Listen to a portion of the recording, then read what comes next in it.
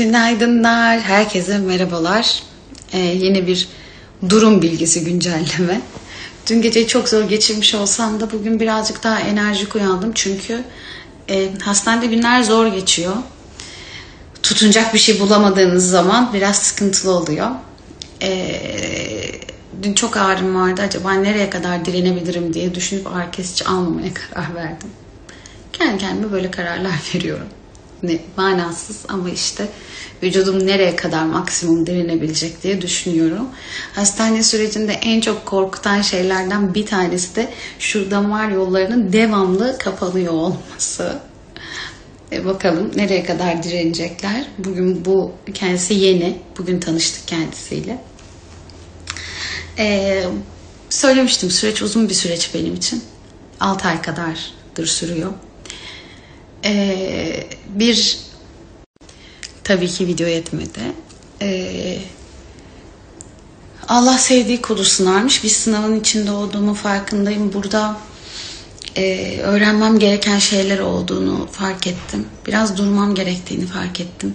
Çünkü hep böyle kendi içimde beni tanıyanlar çok iyi bilirler. Hep bir şeylere yetişmek, hep bir e, koşuşturma, her şeyin böyle alelacele Bence Allah dedi ki yani sen durmuyorsun ben durdurayım seni. Dualarınıza ihtiyacımız var tabii ki. Ama e, durum gün geçtikçe iyiye gidiyor. En kısa zamanda çocuklarıma evime kavuşmak istiyorum.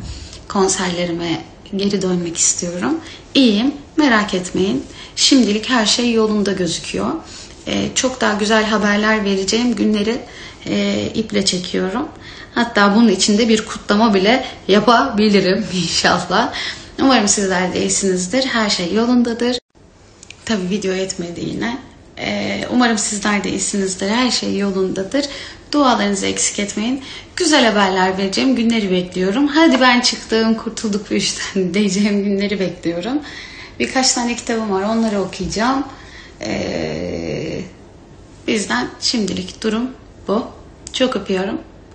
Arayan soran herkesten de Allah razı olsun. Açamadığım zaman da anlarsınız işte. Demek dersiniz buna gene gelmişler. Açamıyor telefonu. Bazen de ilaçlardan çok yorgun oluyorum. Çok öpüyorum. Kendinize çok iyi bakın.